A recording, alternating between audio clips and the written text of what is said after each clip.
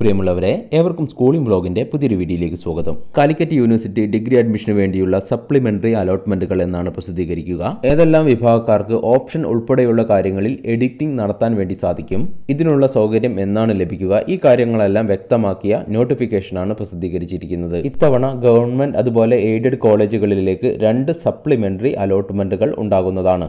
അതേസമയം എല്ലാ self finance കോഴ്സുകളിലേക്കും അലോട്ട്മെന്റുകൾ സപ്ലിമെന്ററി അലോട്ട്മെന്റുകൾ ഉണ്ടാകുന്നതല്ല പകരം ഓപ്ഷൻ നൽകിയ വിദ്യാർത്ഥികളുടെ റാങ്ക് ലിസ്റ്റ് പ്രസിദ്ധീകരിക്കുന്നതായിരിക്കും ഓരോ കോളേജിലും ഓരോ കോഴ്സിലും റാങ്ക് ലിസ്റ്റുകൾ ഉണ്ടാകും. ആ റാങ്ക് ലിസ്റ്റുള്ള സ്ഥാനത്തിനനുസരിച്ച് റാങ്കിനനുസരിച്ച് അഡ്മിഷൻ നടത്തുകയാണ് ചെയ്യപ്പെടുന്നത്.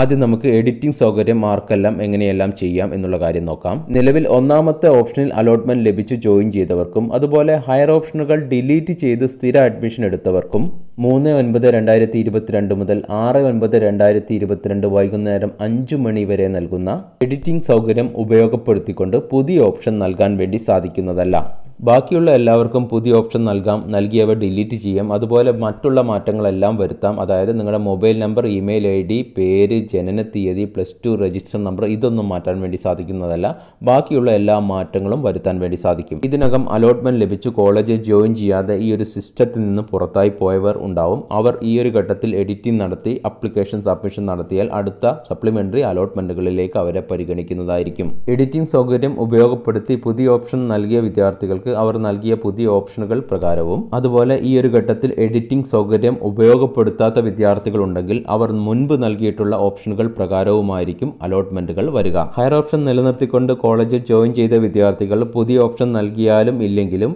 അടുത്ത അലോട്ട്മെന്റിൽ സപ്ലിമെന്ററി അലോട്ട്മെന്റിൽ കോളേജോ കോഴ്സോ മാറുകയാണെങ്കിൽ അതിലേക്ക് മാറി ജോയിൻ ചെയ്യൽ നിർബന്ധമുള്ള കാര്യമാണ്.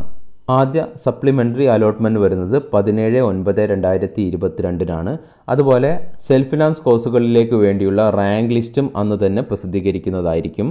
നിങ്ങൾക്കുള്ള റാങ്ക് വെബ്സൈറ്റ് ലോഗിനിൽ അറിയാൻ വേണ്ടി സാധിക്കുന്നതായിരിക്കും. പിന്നീട് സെക്കൻഡ് സപ്ലിമെന്ററി അലോട്ട്മെന്റ് വരുന്നത് ഇരുപത്തിരണ്ട് ഒൻപത് രണ്ടായിരത്തി ഇരുപത്തിരണ്ടിനായിരിക്കും ഈ ഒരു ഘട്ടത്തിൽ കൂടുതൽ seat vacancy S C S T വിഭാഗത്തിന് ഉണ്ടാവുകയാണ് എങ്കിൽ അതിലേക്ക് സ്പെഷ്യൽ അലോട്ട്മെന്റ് നടത്തും എന്നും യൂണിവേഴ്സിറ്റി അറിയിച്ചിട്ടുണ്ട്. സാധാരണ വർഷങ്ങളിലെല്ലാം സപ്ലിമെന്ററി അലോട്ട്മെന്റ് വരുന്നതിന് മുമ്പായി അതുവരെയും അപ്ലൈ ചെയ്യാത്ത വിദ്യാർത്ഥികൾക്ക് അപ്ലൈ ചെയ്യാനുള്ള അവസരം നൽകാറുണ്ട്. പക്ഷേ ഇപ്പോൾ പ്രസിദ്ധീകരിച്ചിരിക്കുന്ന ഈ ഒരു നോട്ടിഫിക്കേഷനിൽ അതുമായി ബന്ധപ്പെട്ട ഡീറ്റെയിൽസുകളൊന്നും പറയുന്നില്ല.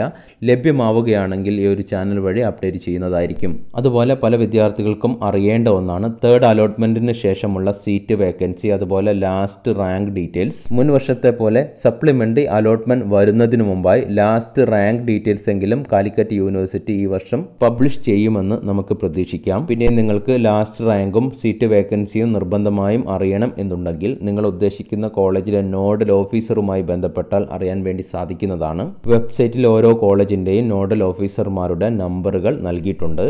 എനിക്ക് അത്യാവശ്യമായി അറിയേണ്ടിയിരുന്ന ഒരു കോളേജിലെ ഇപ്രകാരമുള്ള ഡീറ്റെയിൽസുകൾ കോളേജുമായി ബന്ധപ്പെട്ടപ്പോൾ അറിയാനും സാധിച്ചിട്ടുണ്ട്. കാലിക്കറ്റ് യൂണിവേഴ്സിറ്റി ഡിഗ്രി അഡ്മിഷനുമായി ബന്ധപ്പെട്ട എല്ലാ തരത്തിലുള്ള അപ്ഡേഷൻസും ഈ ഒരു ചാനൽ വഴി നിങ്ങൾക്ക് ലഭിക്കുന്നതായിരിക്കും. ചാനൽ വീഡിയോസ് നിങ്ങൾക്ക് ഉപകരിക്കുന്നുണ്ട് എങ്കിൽ ഒന്ന് സപ്പോർട്ട് ചെയ്യണമെന്ന് അപേക്ഷിച്ചുകൊണ്ട് നിർത്തുകയാണ്. ഇവർക്കും നന്ദി നമസ്കാരം.